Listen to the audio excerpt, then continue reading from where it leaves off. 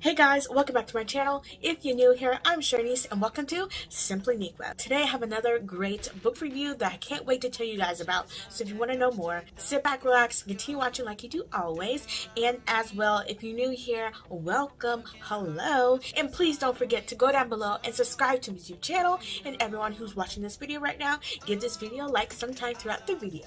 But other than that, let's get started with this video. And I can't wait so we can break apart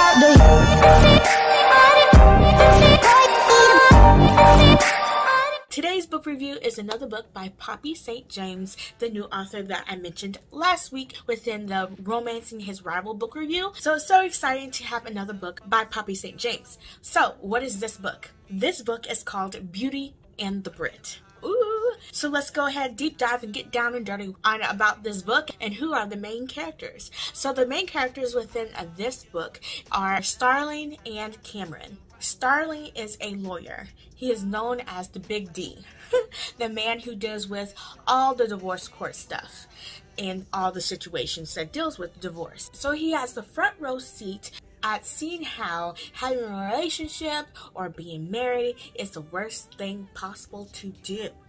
He is a very handsome Brit, um, a nice British man, and who can get all the girls, obviously, you know, the British accent probably does wonders, and who has family issues, who doesn't? And his best friend is Noah, who we were introduced to within the last book from Poppy St. James um, that I mentioned last week, The Romancing His Rival, Noah. From that book, he is friends with Starling, So who is Cameron, the other main character, lovely main character within this book?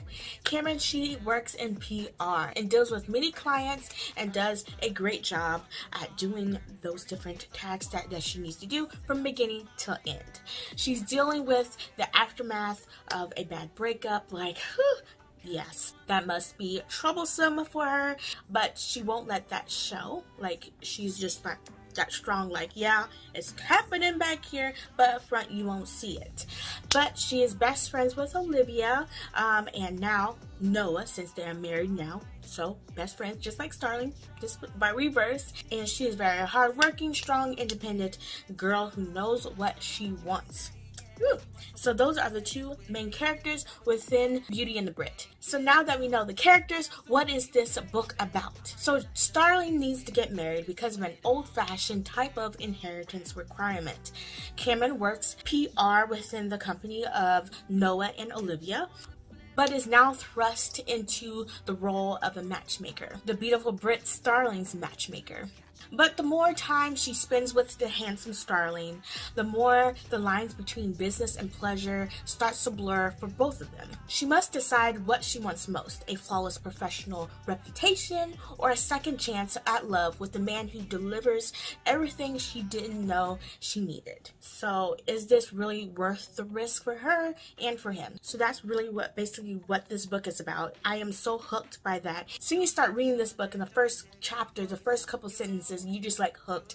And you just want to know more about Starling and then once Cameron's chapters begin you want to learn more about Cameron. You can't put this book down like I'm serious right now. It's like you can't put it down at all. So other information about this book that you need to know that's important for you to know. So it comes out today. So that's just like the whipped cream and the cherry on top of this situation, this video, that this book comes out today. You can grab it today, right now, after this video. This book is a standalone novel, so you get all the beginning, middle, and end right now. Um, this book has 39 chapters plus an epilogue, so a grand total of 40 chapters. Oh yeah. And this book on the Kindle, if you get it on the the Kindle, there's 157 pages and then 209 pages if you get the print copy. There's quick chapters and very intriguing story. You can't put this book down like I said before, and you're just gonna like speed through this book really quickly because it's that that darn good. Okay, and bottom line, just gonna really love all these characters within this book. The main characters for sure, but like even the surrounding and all the situations that is going on within this book, like you're just gonna get really hooked and it's shocked and then like feel all the stuff that all these characters are going through. So, and this book as well is in Starling's mind and point of view and also in Cameron's mind point of view so you get the best of both worlds and get all the information and all the emotions and all the feelings that you won't get if you didn't have that. So yeah. So the bottom line for me, I totally recommend you guys to read this book if you want something like like sweet, flirty, and just like a heartwarming story. Definitely pick up this book. It's really really good.